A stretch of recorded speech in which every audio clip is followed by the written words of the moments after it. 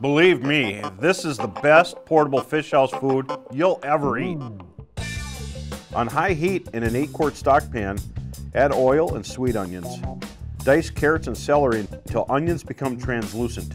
Add in garlic and saute for another two minutes to release the aroma. Add in sweet potatoes, red bliss potatoes, and then saute for another minute. Now add some tomato soup and spaghetti sauce. Shredded carrots, green beans, black beans, and kidney beans. Diced tomatoes and water. Now add some Frank's Red Hot Sauce, celery salt, paprika, cayenne pepper, bring to a boil and reduce to simmer. About an hour and a half, stirring occasionally.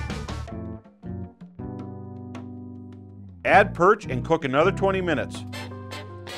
Add in almond milk at the end, cooked wild rice, and Parmesan cheese. Add salt and pepper to your taste. Stir until it incorporates and cooks into a nice mix. Another five minutes. Now you can see why Bro never gets cold on the ice. It's Heather's Chowder. Got a little bit of everything in there. Look at Yeah. that bowl. That is piping hot. Can't burn my new fish. You want a bite? If you dropped it, it would melt through the ice.